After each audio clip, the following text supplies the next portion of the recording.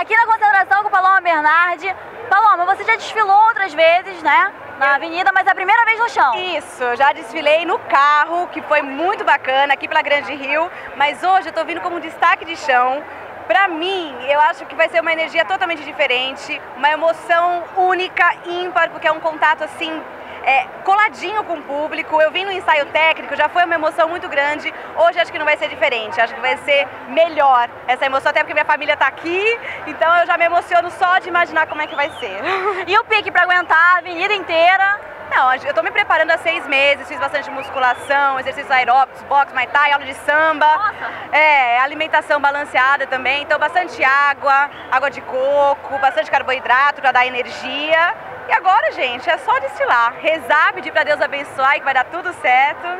É Obrigada, isso. Paloma. Bom Obrigada. desfile. Obrigada. Que seja sua estreia no show e muitos anos você venha para demonstrar essa beleza linda, linda. Obrigada. Obrigada, Carnaval por TV muito mais na sua cara.